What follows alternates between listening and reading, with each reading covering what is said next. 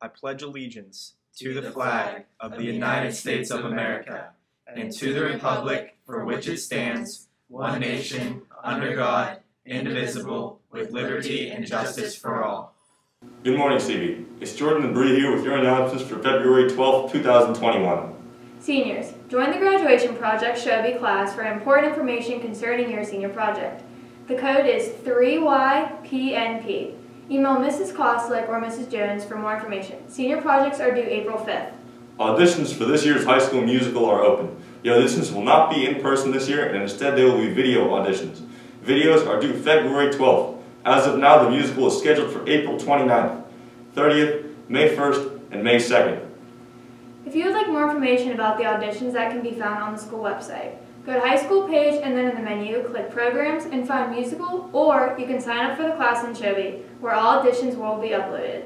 The class code is CQ4UE. Any questions, contact Frau or Mrs. Regal. Now, now on to the sports broadcast. Today at Beaver High School, our boys basketball team tips off against the Bobcats at 7.30. Good luck with your away game, boys. The boys basketball team will also compete against Beaver again for a home game this time. The jump ball will take place at 2.30. Tomorrow, on Saturday, the girls basketball team faces off against Beaver Falls at 12 o'clock. This will be a home game as well. On Sunday the 14th, the, the gymnastics team has a meet that will take place at 2.30. The competitors will be Hopewell and Chartiers Valley. That's all we have for you today, CB. Now here's me and Tyler with a special segment on Chinese New Year.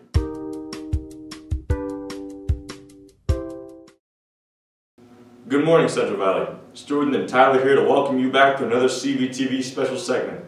Today is a very special day for people of Chinese descent. Chinese New Year, also known as the Lunar New Year, is today. The year of the ox specifically, there are many ways that people celebrate the Spring Festival. That includes cleaning their homes, hanging red posters, decorating their homes with red lanterns, and as well as spending family time together. During the Spring Festival Eve, people set off their famous fireworks and firecrackers. These explosives are supposed to cast away bad luck and misfortune. People will throw parts and parades with dragon and lion dances, wear new clothes, and give their children luck money. Chinese New Year starts with the first 24 solar terms, known as Lichun. The New Year always takes place on a new moon that falls between the 21st of January and the 20th of February. This year, the new moon appears on February 12th. Chinese New Year lasts 15 days. and Different activities take place on each day. For example, in preparation for New Year's, families will clean houses and prepare food days before the actual New Year's Eve. On New Year's Eve, people will decorate their houses in red banners and other New Year's themed decor. People will also have family reunion dinners and spend time with their relatives, as well as give luck money to their kids. And on New Year's Day, people will set off firecrackers and burn fake valuables to honor deceased loved ones. The rest of the time will be spent with family and friends until people have to go back to work, which is usually on the eighth day. Shopping for new clothes is also a common tradition, so set up the oncoming year with fresh clothing.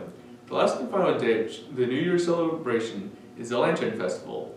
In this festival, we'll light lanterns and release them into the sky.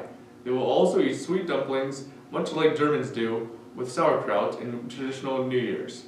The celebration will end, even more fireworks, and the New Year period will be over. The Lunar New Year is the most important holiday in China, along with Thailand, Korea, Japan, and Vietnam.